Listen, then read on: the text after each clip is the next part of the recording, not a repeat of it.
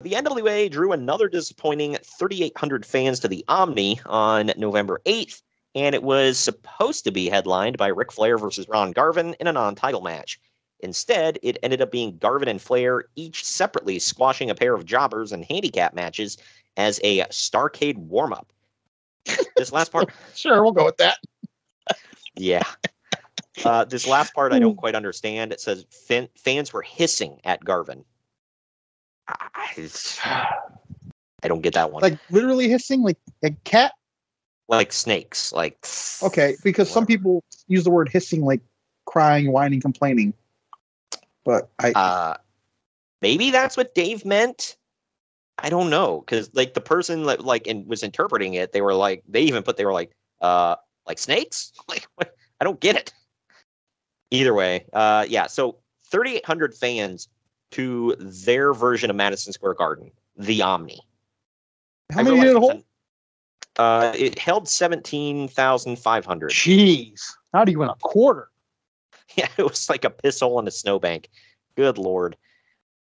Uh yeah, so that sucked. I realized it was a house show in a non-title match, but good lord, man. Dude, was in the eighties, house Flair and Garvin. where was that? So that's you can't use that as an excuse, really. Yeah. I don't know. And I guess it was good that they didn't do the match, but whatever. Maybe Flair's chest needed a night off. Because he talked about when uh, he went around the loop with Garvin doing matches, he said he would have to rub salve into his chest like every night because it would be all cut up. that's uh that's a little rough, man. I can imagine that's like if you take on uh Gunther nowadays. Gunta. Although there's a lot of grumbling from talent in the NWA about leaving after Starrcade due to poor houses lately, the real concern has become the plummeting TV ratings. Literally, as soon as Ron Garvin won the world title, their syndicated package dropped out of the top 15 completely. And now is behind Wow, the man, AW that is bad. Right.